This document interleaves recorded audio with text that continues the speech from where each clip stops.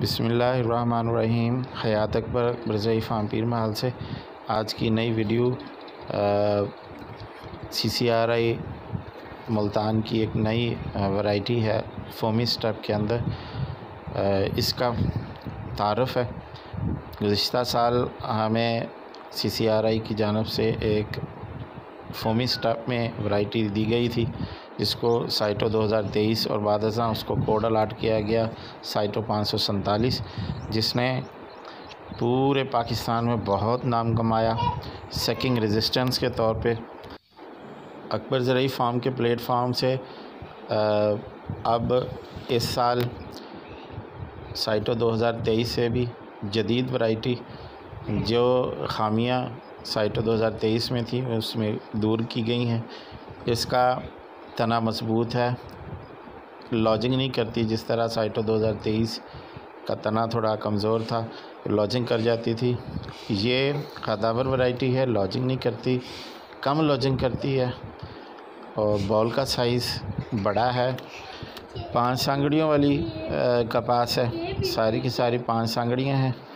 और ball size बड़ा होने के साथ साथ नंबर ऑफ़ बॉल्स भी ज़्यादा हैं।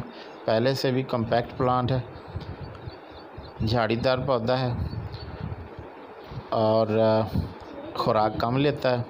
पानी कम, खाद कम, पानी की कमी बर्दाश्त करता है। शेडिंग बहुत कम है। सकिंग रेजिस्टेंस है। मक्खी सफ़ेद मक्खी जो है, उसके ख़िलाफ़ कमाल की क़वत मदाफ़त है।